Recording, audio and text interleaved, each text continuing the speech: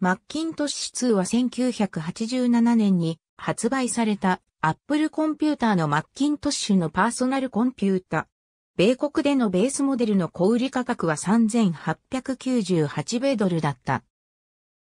マッキントッシュ2は初のモジュラー型 Mac であり、またカラー表示ができる初の Mac であった。筐体デザインはフロッグデザインによるもの。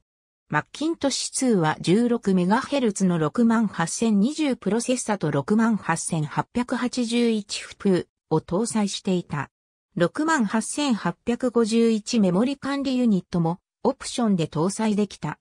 Mac としては初めてニューバススロットを搭載し、6機のニューバススロットでハードウェアをプラグプレイで拡張できる。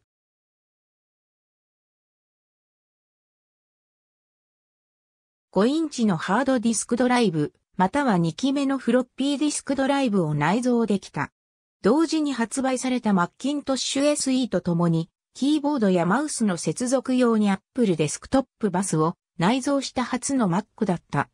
キーボードは別売で ADB Apple キーボード、または Apple 拡張キーボードを選択できた。また、マッキントッシュ2は深刻なハードウェアエラーが起きた時にさっと Mac が表示される初の Mac でもある。マッキントッシュ2における最大の改良点は、カラークイックドローの搭載だった。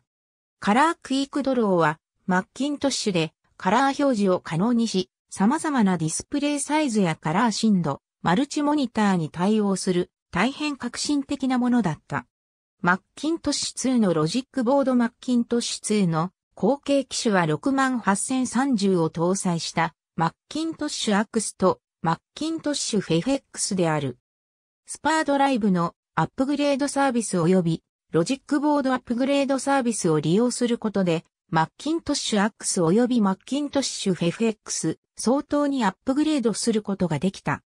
日本でも1987年に発売開始されたが、日本語 OS が間に合わずに、英語のシステム4.1のまま出荷され、後日1988年に漢字トーク2.0がユーザーに発送された。マッキントッシュ2 Technical Specifications ハット。マッキントッシュ2 Technical Specifications。support .apple.com 2018年5月25日閲覧。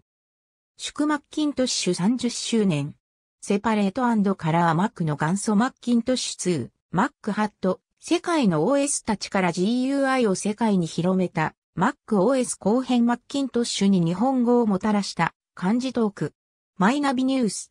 https コロンスラッシュスラッシュニュース .mynavi.jp スラッシュアーティクルスラッシュ20121211ダッシュ macos2 スラッシュ2018年5月25日閲覧。ありがとうございます。